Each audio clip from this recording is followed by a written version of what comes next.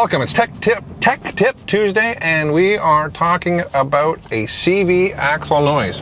I'm hoping my uh, GoPro doesn't uh, become a casualty.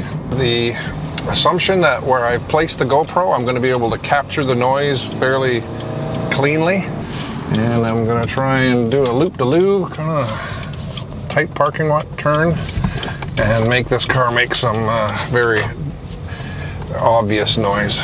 First off, what is a CV joint? With the advent of front wheel drive cars, there has to be a way of getting the power from the transmission to the wheels. That's where the CV axle comes into play. Each axle is comprised of an outer joint and an inner joint. The outer joints have a much larger range of motion and therefore fail more frequently, but don't discount the inners, they do fail from time to time as well. Alright, so that's just, just clear. Alright.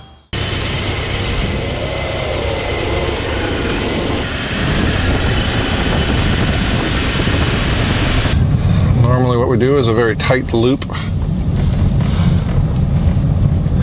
going to get on the throttle right now. Here we go.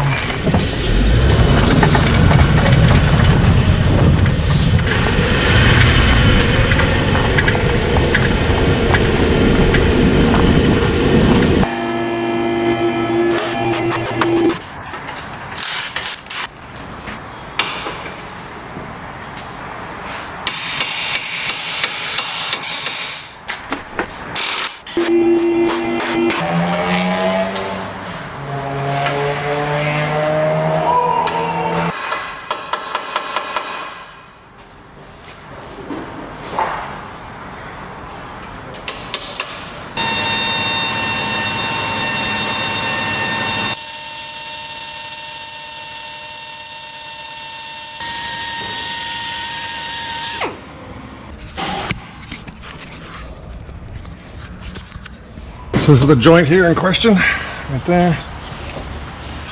And by that.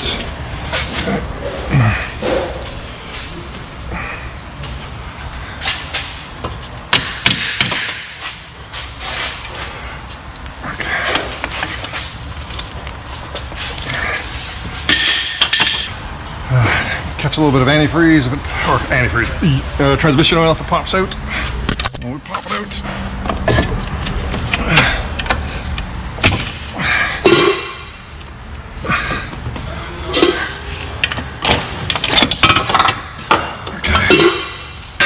There.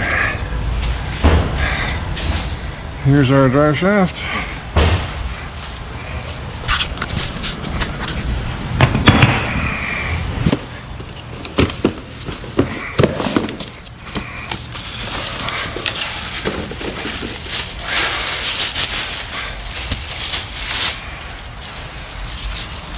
So this is the joint in question right here. The old one here, noisy.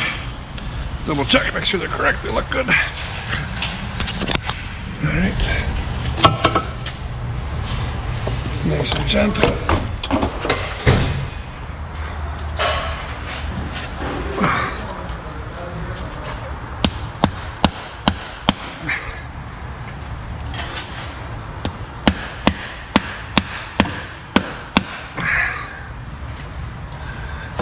That's in there properly.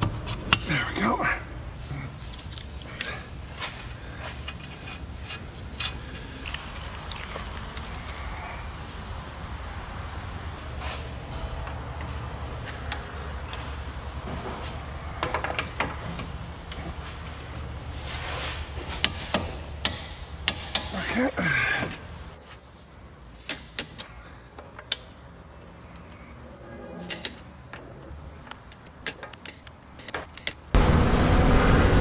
can already tell it's better. I don't think I need to go very far.